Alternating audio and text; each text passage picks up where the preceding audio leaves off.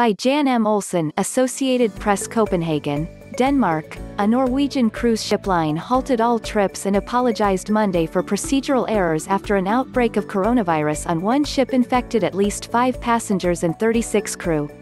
Health authorities fear the ship could have infected dozens of towns and villages along Norway's western coast.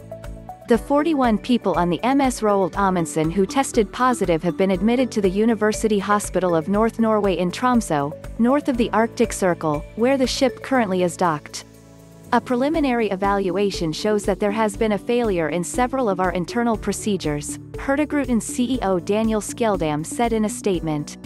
He added the company that sails along Norway's picturesque coast between Bergen in the south and Kirkenes in the north as, now in the process of a full review of all procedures, and all aspects of our own handling. The cruise line has contacted passengers who had been on the MS Roald Amundsen for its July 17 to 24 and July 25 to 31 trips from Bergen to the Arctic archipelago of Svalbard, which is known for its polar bears. T here were 209 guests on the first voyage and 178 guests on the second voyage. All 158 crew members on MS Roald Amundsen have been tested and 122 were negative.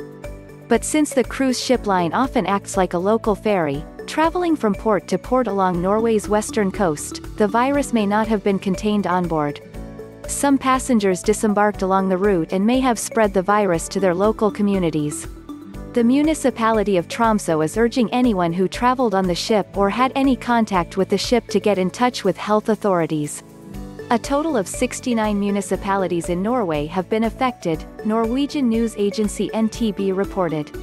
It's not known how the outbreak began since guests come from all over the world.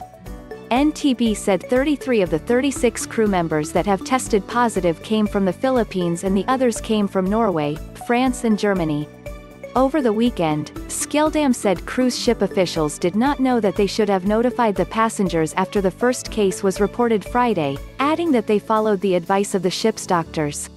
But Line Vold of the Norwegian Institute of Public Health said its advice was to inform passengers and crew as soon as possible so they could monitor their health and go into quarantine if needed.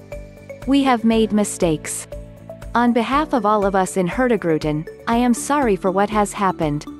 We take full responsibility, Skjeldam said. The Hurtigruten line says the operations of three ships, MS Roald Amundsen, MS Fridtjof Nansen and MS Spitsbergen, have been halted for an indefinite period. The Tromsø-based Hurtigruten was one of the first companies to resume sailing after the pandemic hit and started cruises to Norway out of Hamburg, northern Germany, in June with a single ship. It added cruises to Svalbard in July, Norwegian media reported.